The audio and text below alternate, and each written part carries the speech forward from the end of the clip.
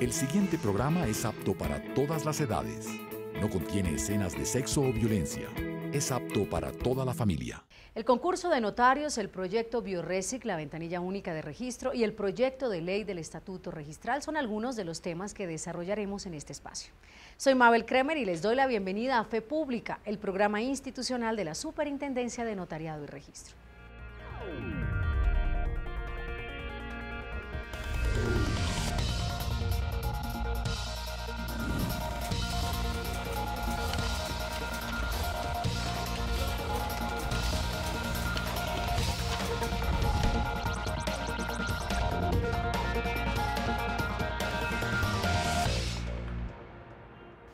Con el propósito de avanzar en los temas relacionados con la carrera notarial y la próxima posesión de notarios que superaron el concurso, el Consejo Superior se reunió en las instalaciones del Ministerio de Justicia.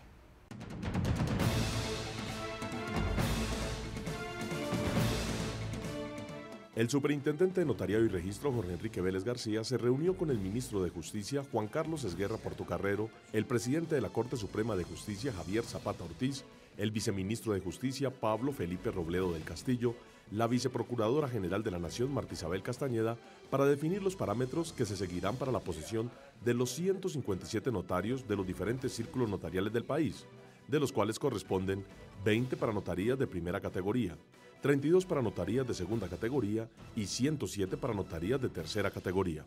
20% son notarios anteriores que estaban en, sus cargos, pueden no quedar en la misma notaría donde se habían presentado. 8 eh, fueron registrados, son registradores de instrumentos públicos eh, y el resto son personas en su mayoría de la rama judicial y abogados que cumplieron con los requisitos para poder llegar. En los próximos días se dictará un curso de inducción a los 157 funcionarios seleccionados en el concurso de notarios. El más rápido de todos los concursos que se ha hecho. En un año se hizo el concurso, los anteriores habían sido de dos y tres años. Eh, se ganaron todas las tutelas que nos impugnaron, trataban de impugnar para alrededor de unas 120 tutelas. Eh, creo que la Universidad Nacional tomó las cosas con una gran seriedad, con una gran transparencia y eso demostró además por la gran colaboración del presidente de la Corte, del Consejo de Estado, de la Procuraduría, en todo el tema de las entrevistas que fueron hechas en, un tiempo récord y la organización que dentro de la superintendencia se tuvo en cuenta para poder ya tener estos 157 notarios. Los 20 notarios de primera categoría serán posesionados por el presidente de la República el 29 de marzo y los gobernadores ya están enviando las actas de posesión de los otros 137 notarios. Los notarios elegidos podrán ejercer sus funciones hasta los 65 años de edad y su reemplazo se dará solo bajo las siguientes circunstancias. Por problemas disciplinarios, por muerte, por destitución por otro caso distinto y lo entra a reemplazar un nombramiento en, los de segunda y tercera categoría, los gobernadores mandan una, una, una terna, nosotros la revisamos y nombran ellos. Y en los de primera categoría, el presidente de la República nombra mientras se hace el concurso.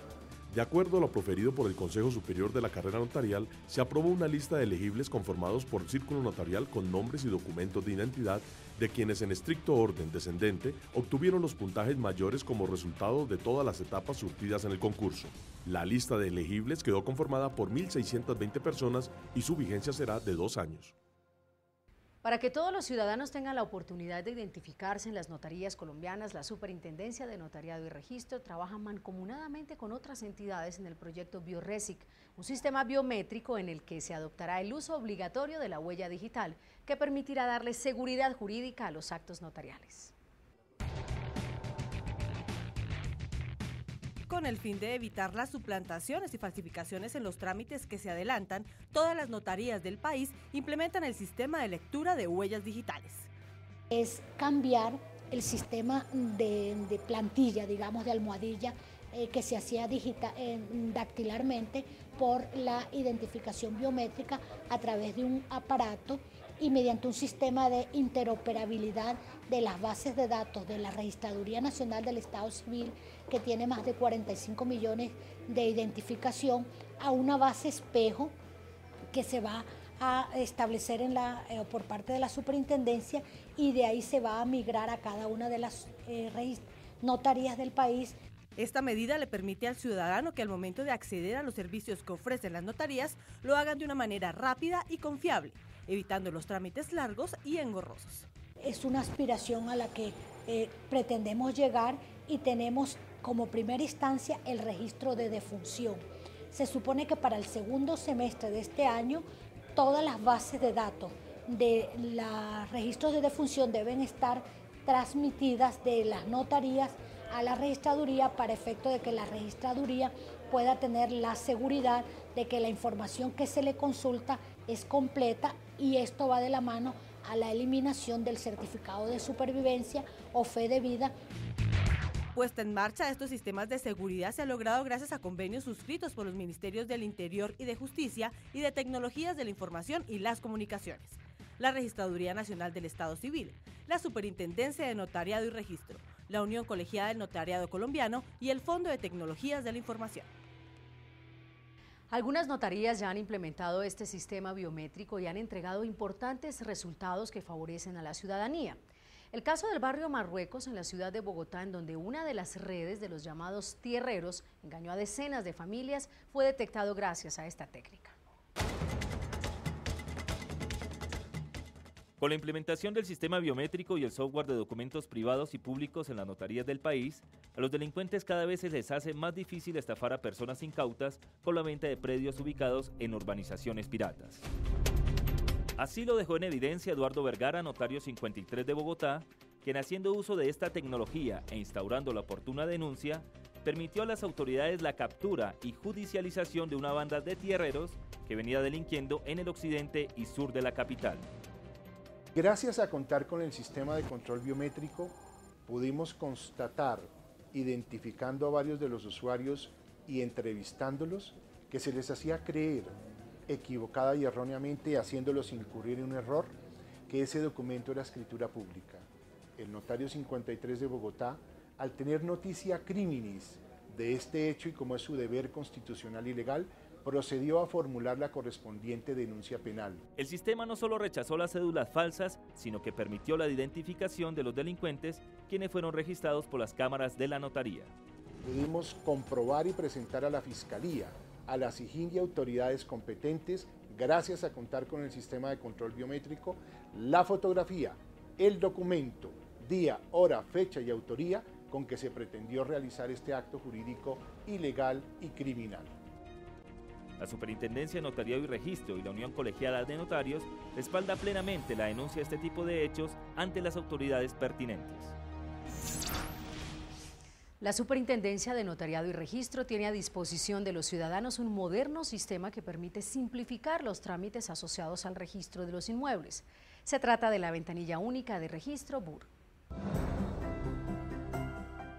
Este proyecto tiene como objetivo simplificar los trámites para la compraventa de los predios registrados. El proceso involucra diversos trámites de entidades del orden nacional, departamental y municipal. Con la implementación del BUR, estos se integran para que los ciudadanos solo tengan que dirigirse a la notaría y a la oficina de registro.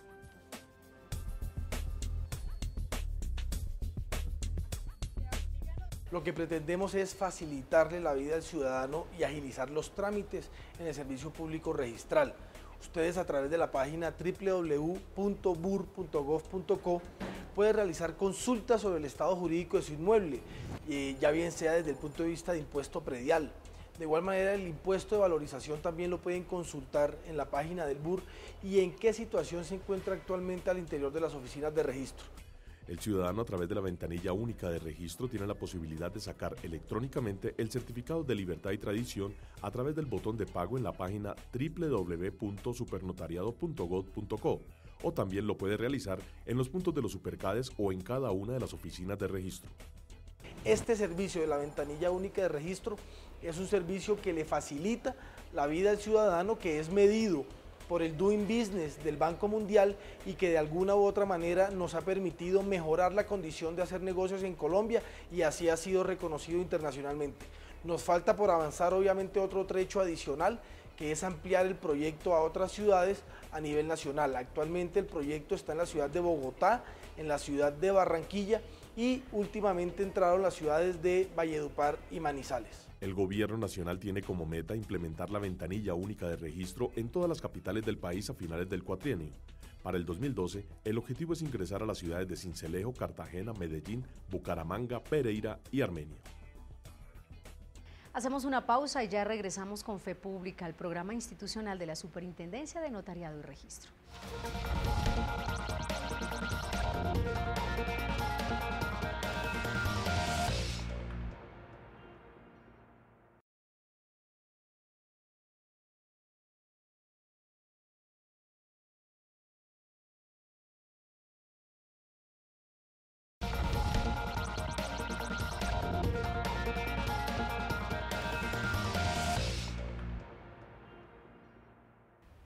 Gracias a la digitalización de sus archivos, la Superintendencia de Notariado y Registro avanza positivamente en la cultura de cero papel.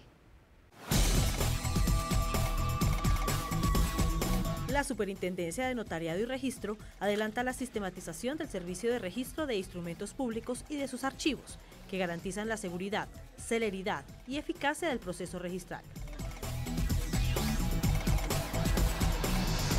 Con el ánimo de agilizar y facilitar los procesos de información que las leyes de justicia y paz y protección a los bienes de la población exigen de las oficinas de registro de instrumentos públicos del país. Es un proceso que se está manejando desde el año pasado en la selección de documentación para tener un mejor manejo de los documentos. De hecho, una vez se termine la parte de escanear, ya ingresa todo al sistema y no vamos a tener manejo documental. Las ORIPS, en donde se adelanta la sistematización, son las de Turbo, Marinilla, San Martín, Carmen de Bolívar, Puerto López, Facatativá, Santa Marta, Bogotá Zona Norte, Bogotá Zona Sur y Plato Magdalena. Son cuatro procesos. El primer proceso es alistamiento. El segundo proceso ya es la digitalización.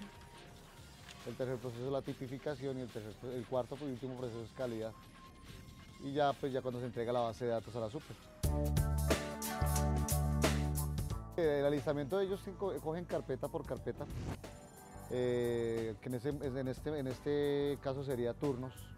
Cada turno es un número de matrícula. Aquí empezamos en San Martín desde el turno 1. Ya vamos en, en el turno 17.000. Tipificaciones que cogemos cada turno que se ha digitalizado y se, verifica que si sea el turno y se cuentan los números de folios que hay. Ya después de que ya hagamos todo eso y tengamos organizado toda nuestra base de datos, se hace el control de calidad. Es misión de la Superintendencia de Notariado y Registro velar por el cuidado y custodia de la información institucional de las oficinas de registro e instrumentos públicos, como son los folios de matrícula inmobiliaria y la documentación soporte que garanticen la guarda de la fe pública, con el fin de prestar el servicio al ciudadano de manera oportuna con tecnología moderna. Para lograr que los servicios al ciudadano sean en línea, la Superintendencia de Notariado y Registro está inmersa en la innovación en materia de integración de los sistemas registrales. Apoyados en la tecnología, se agilizarán los procesos. La sistematización de archivos en las oficinas de registro que viene implementando la Superintendencia de Notariado y Registro desde el 2009 busca conservar, proteger y actualizar registros antiguos y recientes, además de agilizar la respuesta al ciudadano. En la actualidad, 38 oficinas prestan este servicio, que ha permitido la digitalización de más de 51 millones de imágenes. Antes de terminar el año, se espera que 14 oficinas más cuenten con este software. Este proyecto consiste en que mediante la digitalización de los documentos físicos logremos eh, garantizar la integridad y la seguridad de los mismos y a su vez agilizar el tiempo de respuesta a los usuarios. Pero ¿cómo se realiza este proceso de digitalización? La superintendencia tiene un programa que se llama Iris Documental, que precisamente es el que se fusiona con las, con las bases de datos de folio y CIR de las oficinas de registro, que es el que me da la opción de subir todas las imágenes, o sea, del documento físico lo paso a medio magnético, que es el que me da la facilidad para que precisamente no haya manipulación de la información por parte de los funcionarios. Para el 2014 se espera que el 100% de las oficinas de registro en el país cuenten con este servicio de digitalización tanto para el archivo histórico como documentos que se tramitan día a día. Después de ser aprobado por el Senado de la República, inicia su trámite en la Cámara de Representantes el proyecto de ley de estatuto registral que permitirá regular eficientemente el tema de registro de instrumentos públicos.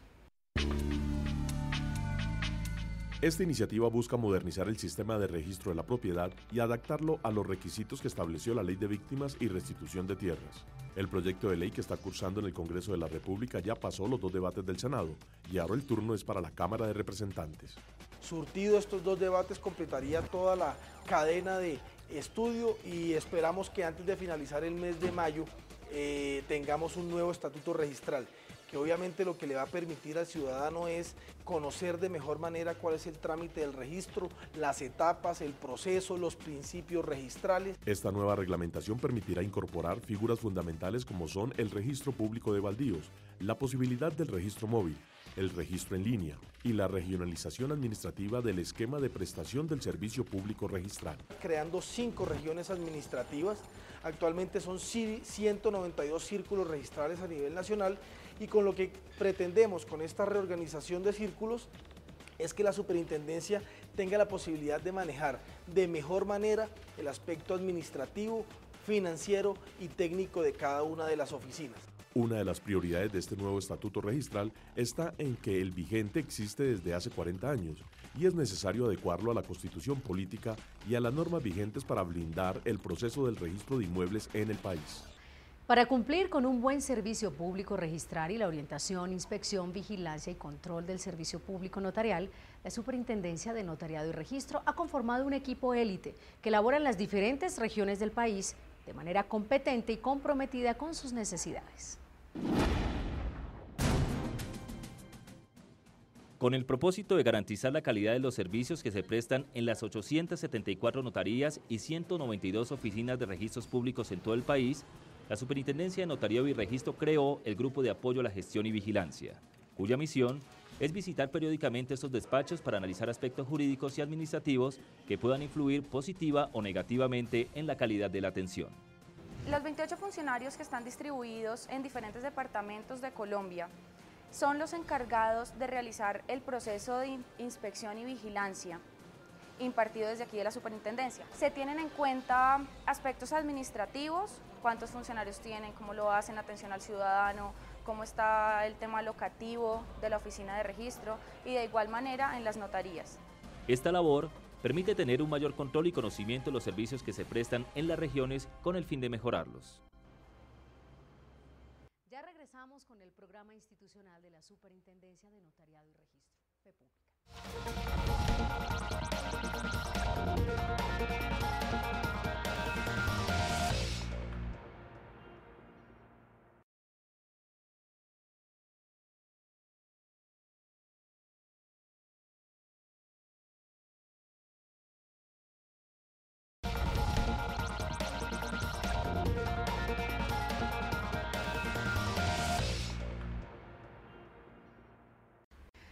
De acuerdo con las estadísticas nacionales de los servicios prestados por la Superintendencia de Notariado y Registro, durante el año 2011 se expidieron más de 7 millones de certificados de tradición y libertad, pero tan solo el 3.83% de ellos fueron solicitados por Internet. La época en la que había que hacer eternas filas para obtener documentos como el certificado de libertad y tradición de un inmueble es cosa del pasado. Ahora los usuarios tienen varias opciones para ahorrar tiempo y esfuerzo. Los cubículos de la superintendencia en los CADES han demostrado una eficiencia a toda prueba. En cuestión de minutos, cerca de su casa y con una asesoría gratuita, es muy fácil. La gente está muy contenta por el servicio que comenzó a funcionar acá hace aproximadamente dos meses en este, en este punto, ya que pues no necesitan ir al centro, lo encuentran acá. Este servicio lo, se presta para toda la ciudad y varias ciudades del país. Los usuarios dicen que a veces será más costoso ir y volver en bus y gastar dos horas de tiempo que el valor mismo del documento. Y por eso resaltan las virtudes del sistema que implementó la Superintendencia de Notariado y Registro. Excelente, no he tenido inconvenientes, no, no han sido pues cortantes, es muy bueno, eh, a mi manera de ver es muy bueno. En los mismos CADES y en las notarías hay acceso a la consulta de una base de datos en la que el usuario puede obtener los datos del inmueble. Ahí ya vemos que el ciudadano ahorra tiempo, ahorra dinero, ahorra esfuerzo y, eso pues obviamente contribuye al mejoramiento de la calidad de vida de todas las personas. Pero además la superintendencia ya tiene en funcionamiento un sistema muy confiable en el que desde su página web se puede obtener una copia del certificado. Para ello solo se necesita ingresar en la página www.supernotariado.gov.co desde un computador seguro y tener habilitada una opción de pago débito en su entidad bancaria. De los servicios vía web y Supercade se beneficiaron más de 600.000 colombianos en 2011. Siguiendo con las estadísticas, ¿saben ustedes cuál es el mes en el que más se registran niños en las notarías de Colombia? Enero. En el 2011, durante este mes, se llegaron a registrar 43.878 niños. Abril y agosto fue la época en la que menos se requirió de este trámite.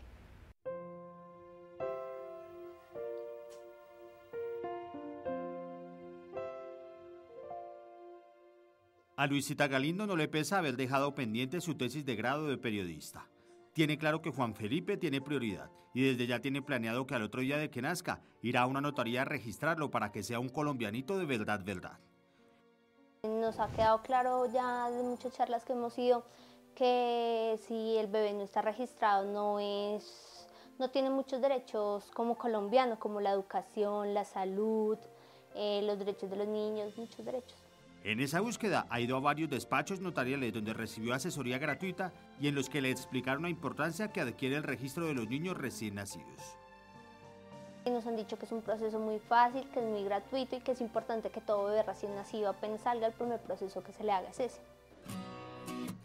Como ella, miles de madres y padres de todo el país han aprovechado las campañas de difusión de la Superintendencia de Notariado y Registro, que arrojan hoy un balance satisfactorio. Las cifras de 2011 son contundentes. Cerca de 434.397 niños fueron inscritos en el registro civil. Que vayan y que no les dé pena averiguar por los derechos que tiene su niño, porque es muy importante registrarlo ante la ley para que él tenga todos los derechos por ser ciudadano colombiano. Recuerde que ningún documento de origen religioso como una partida de bautismo reemplaza al registro civil, que legalmente es el único autorizado para garantizar los derechos de los pequeños. Las festividades decembrinas son las preferidas por los colombianos para casarse por lo civil, mientras que los meses de enero y febrero estas ceremonias son poco apetecidas. Vean ustedes las cifras. En diciembre del 2011 se comprometieron en las notarías más de 9 mil parejas y en enero y febrero casi no superan los 4 mil. Más allá del vestido blanco, ellas prefieren ir a la fija. Por eso, si se trata de atrapar el amor de sus hombres, poco les importa una iglesia llena de flores y lluvia de arroz a la salida. El matrimonio civil es una opción cuya demanda crece a la misma velocidad que el afán por armar familia. Hasta que la muerte nos separe. Rápido, eficiente y chévere, sí. Y el notario va donde uno lo, lo, lo, llame o bueno, le Sí, donde usted vaya y cite al notario. Y de igual forma usted también puede hacer una boda muy bonita. Y aunque hay algunos que dicen que sin la bendición del cura no hay bendición de Dios. Eso va en gustos y en costumbre, yo me imagino que eso es respetable, cada uno decide cómo se quiere casar. Otros creen que el tema es de amor, puro, sencillo y sin lentejuelas. Por eso la notaría es una muy buena opción. Yo pienso que las dos formas se pueden, ¿no? Primeramente uno por lo civil y ya después cuando ya uno ya, en cuanto al nivel económico, ya se pueda cumplir el sueño de casarse por la iglesia. Por fin, por fin, por fin se van a casar. Puede ser para el sanfero o para la Navidad. La gran mayoría de contrayentes están felices, arrunchados en medio del frío y con la convicción de que fue para toda la vida. Claro está que si diciembre es el mes en el que más se casan, noviembre manda en las estadísticas de divorcios. De las 15.236 parejas que en Colombia decidieron terminar su vínculo matrimonial, 2.036 lo hicieron en ese mes. Y mucho ojo, la mayoría de ellas en Bogotá. Y curiosamente, en el Amazonas no se divorció ninguna pareja. Dicen por ahí que el amor eterno dura exactamente 4 minutos 48 segundos y lo canta Rocío Dúrcal. Por eso si la magia se acabó, si la rutina dinamitó su relación o la infidelidad pasó de visita por su hogar y no hay forma de remediarlo, existe una opción rápida y confiable, el divorcio en una notaría. Se hace de una forma mucho más rápida cuando los cónyuges están de acuerdo y evita un complicado y desgastante proceso judicial, atado además al doloroso proceso personal. Creo que es más fácil por la notaría. Eso me imagino que es ir y firmar un papel y ya, y se divorcia. De pronto por la iglesia ya es un poquito más complicado, hay que hacer más vueltas. En una notaría se puede adelantar la disolución de la sociedad conyugal y los efectos civiles del matrimonio religioso, algo que hace una generación era impensable. Es un trámite como, como ir a sacar un, un documento, o sea, es algo que no va más allá de, de, de, lo simbólico en sí que es el matrimonio, sino que, que es como terminar un contrato. El año pasado, 15.326 parejas se dijeron hasta siempre en un despacho notarial, porque más allá del amor, aquí aplica aquel viejo dicho que reza, que lo que no sirve, que no estorbe. Eso es mejor no casarse ni comprometerse, el que no sirva, que no estorbe. La invitación es para que nos acompañen en la próxima emisión de Fe Pública, el programa institucional de la Superintendencia de Notariado y Registro. Si ustedes se quieren comunicar con nosotros, lo pueden hacer a través del correo electrónico fepublica.supernotariado.gov.co. Hasta pronto.